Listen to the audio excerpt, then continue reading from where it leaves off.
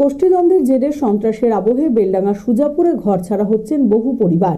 প্রতিবাদে রাস্তায় নামলেন অধীর রঞ্জন চৌধুরী। বেলডাঙ্গার সুজাপুর কুমারপুর পঞ্চায়েতের তাতলাপাড়ায় বেশ কয়েক মাস ধরে তৃণমূলের গোষ্ঠীদ্বন্দ্বের জেরে দফায় দফায় উত্তপ্ত হয়ে উঠছে গ্রাম। ইতিমধ্যে আতঙ্কে বহু পরিবার গ্রাম ছাড়া হয়ে পড়েছে বলে অভিযোগ। এমনকি সাধারণ মানুষের ওপর পুলিশে অত্যাচার চলছে বলেও অভিযোগ। এরই প্রতিবাদে বুধবার প্রদেশ কংগ্রেস সভাপতি অধীর চৌধুরীর নেতৃত্বে একটি শান্তি মিছিল পরিক্রমা করে ওই এলাকা। মানসিক স্বাস্থ্যের জন্য সবার আগে যে নামটি মনে ভেসে ওঠে, সুস্থ মনের ঠিকানা মনোবীক্ষণ। যোগাযোগ number seven four triple seven double nine five one six বেশ কয়েক মাস ধরেই তৃণমূলের গোষ্ঠীদ্বন্দ্বের জেরে উত্তপ্ত হয়ে উঠছে বেলডাঙ্গার সুজাপুর কুমারপুর পঞ্চায়েতের তাতলাপাড়া গ্রাম। দুপক্ষের সংঘর্ষে এলাকায় চলে বোমাবাজি। এলাকায় ড্রোন ক্যামেরা উড়িয়ে বোমা উদ্ধার করে বেলডাঙ্গা থানার পুলিশ। এলাকা থেকে পুরুষ মহিলা সহ সতেরো জনকে গ্রেপ্তারও করা হয়। এলাকায় সৃষ্টি হচ্ছে চাপা উত্তেজনা ও আতঙ্কে ইতিমধ্যেই গ্রামের বহু মানুষ গ্রাম ছাড়া হয়েছে বলে অভিযোগ। গ্রামবাসীদের অভিযোগ, পুলিশের অত্যাচারে গ্রামে বাস করা যাচ্ছে না। সন্ধ্যা নামতেই এলাকায় শুরু হচ্ছে পুলিশের অত্যাচার। বাড়ি ঘর এমনকি ঘরের জিনিসপত্র ভাঙচুর করা হচ্ছে বলেও অভিযোগ। আতঙ্কে গ্রাম ছেড়ে অন্যত্র পালাচ্ছে গ্রামবাসীরা। পুলিশ এসে গেটের ধাক্কা মারছে, গেট ভাঙছে। ওই পুলিশের ভয়ে বাড়িঘর ভাঙছে, তার লেগে মেয়ে ছেলেকে ধরলি যাবে ওই ভয় লাগছে পুলিশের পাঁচ ছটা মেয়ে ধরলে গেছে তার লেগে ভয় লাগছে যেটা আমাদেরকে ধরে বলি। সন্ধ্যা লাগছে ঘরে তালা মেরে বসে থাকতেছে পুলিশের ভয়ে। আর পর যখন যাচ্ছে পুলিশ গেটে বাড়ি মারছে। ধপাধপ বাড়ি মারছে পুলিশের গেটে লাঠি মারছে লাঠি মারছে এখন আমরা শান্তি চাচ্ছি দেশে। অনুরোধ করছি পুলিশদের যে আমার বাড়ির ক্ষয়ক্ষতি হয় না। কোনো মতে শুনছে না ব্যাঘাত করছি। তাও শুনলো না কাঁধ বাল্ব ফ্যান একবারে কুচি করে ভেঙে দিলে আর বুঝছে টক করে ঘর খুলি দে। আমরা ঘরে ঢুকবো ঢুকে আর কি আছে দেখব। ঘর খুলে দেওয়া হচ্ছে তাও শুনছে না। একবারে তাহাই অত্যাচার করছে মেয়েছেলের ওপরে কেন আমার বাড়িতে কেউ নাই। কিসের হবে এরই প্রতিবাদে বুধবার প্রদেশ কংগ্রেস সভাপতি অধীর চৌধুরীর নেতৃত্বে একটি শান্তি মিছিল পরিক্রমা করে ওই এলাকা। উপস্থিত ছিলেন অধীর চৌধুরী সহ অন্যান্য স্থানীয় নেতৃত্ব ও কর্মীরা।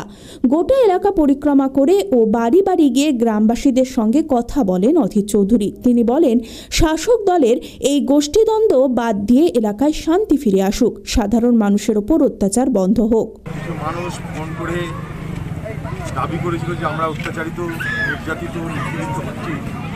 আমাদের দেখার কেউ নাই। আমাদের ঘর বাড়ি ভাঙা পড়ছে। ঘরের মেয়েদেরকে বন্দি করা হচ্ছে, অ্যারেস্ট করা হচ্ছে। অস্ত্রের কেসে, বোমের কেসে। ঘর বাড়ি থেকে মেয়েরা থাকতে পারছে না। স্বাভাবিকভাবেই এই করুণ অবস্থার বর্ণনা শুনে আমার মনে হলো একবার আমার এখানে আসা উচিত, কারণ এই এলাকার মানুষের দ্বারা আমি নির্বাচিত জনপ্রতিনিধি। যেটা আমি জানতে পারি সেটা হচ্ছে এই যে শাসক দলের দুটো গোষ্ঠীর মধ্যে দীর্ঘদিন ধরে এখানটায় সংঘর্ষ চলছে। সেই সংঘর্ষ হয়তো কখনো অনেক বেশি এখানটায় দেখা যাওয়ার কারণে হয়তো পুলিশ প্রশাসন এখানে হস্তক্ষেপ করেছে। আমি পুলিশ প্রশাসনের হস্তক্ষেপ বিরোধিতা আমি করছি না। কিন্তু আমার একটা বক্তব্য, পুলিশ প্রশাসনের হস্তক্ষেপ করা মানে এই নয় যে মারির বাড়ির মা বোনদের উপরে এখানটায় অত্যাচার শুরু করে দেওয়া। গ্রামে গ্রামে মা বোনেরা সবাই পলাতক হয়ে আছে। কেন? কি এমন ঘটলো? আমরা তো জানি না কিছু। কটা মার্ডার হয়েছে, আমরা জানি না। কে মার্ডার হয়েছে তা জানি না। অপরাধটা কি তা জানি না। কিন্তু ঘটনাটা হচ্ছে এই যে এখানটায় ঘরে ঘরে আমাদের পরিবারের মা বোনেরা, তারা কিন্তু আজকে ঘরে থাকতে পারছে না। তারা সব পলাতক হয়ে আছে। ঘর বাড়ি ভাঙচুর কেন করছেন আপনারা? ঘরের কাঁচ ভাঙছেন, ফ্রিজ ভাঙছেন, জানলা ভাঙছেন, দরজা ভাঙছেন। এই অত্যাচার কেন? আমরা এই ব্যাপারে আমি নিজে প্রশাসনের সঙ্গে কথা বলবার চেষ্টা করব। এই বিষয়ে বিধায়ক হাসানুজ্জামান শেখ বলেন এলাকায় যে বোমাবাজি হয়েছিল সেই ঘটনায় জড়িত বেশ কয়েকজনকে পুলিশ ইতিমধ্যে গ্রেপ্তার করেছে। পুলিশি প্রহরায় এলাকায় শান্তি শৃঙ্খলা বজায় হচ্ছে। তৃণমূলের গোষ্ঠীদ্বন্দ্বের অভিযোগ তুলে অধীর চৌধুরী সস্তা রাজনীতি চালাচ্ছে বলেই পাল্টা কটাক্ষ করেন তিনি। খুব ভালো লাগল যে অধীর চৌধুরী এতদিন পর বেলাগার কথা লোকের কথা মনে পড়ছে কোনোদিন আহ, রোডে এসে দাঁড়িয়ে থাকছেন এসে মানুষের সাথে খুব সস্তা রাজনীতিটা এখন উনি করছেন।